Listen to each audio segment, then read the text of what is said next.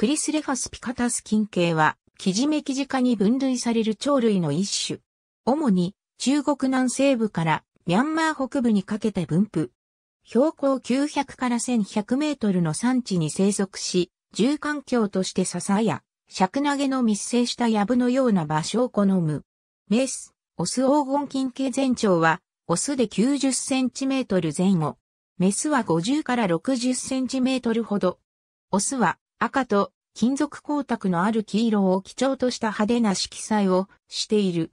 網目模様が入った褐色の尾葉、毛髪状の金色の関羽、襟首の日本兜のシコロ状を呈する明るい黄色と黒の飾り輪が特徴。全身が明るい黄色を呈する使用品種があり、俗に黄金金系と呼ばれる。メスは他種の生地類同様褐色に黒っぽい、ブチ模様で比較的地味である。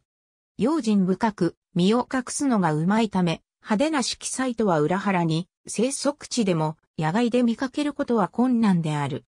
そのため、野生下での繁殖行動や食性については、不明な点があるが、飼育が容易で動物園や個人で飼育される機会が多く、ある程度のデータは判明している。発情期になると、オスは金属的な声を上げて、他のオスを牽制し、同時にメスを呼ぶ。また、メスの前に立ったオスはオハを広げる、襟の飾り輪を広げるなどの求愛行動を示して、メスの気を引く。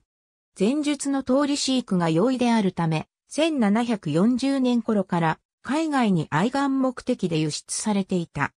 原産地では古くから知られ、装飾品や絵画の題材にされていたが、西欧の学者間ではあまりにも豪奢な体色から実在が信じられず、長らく想像上の鳥と思われていた。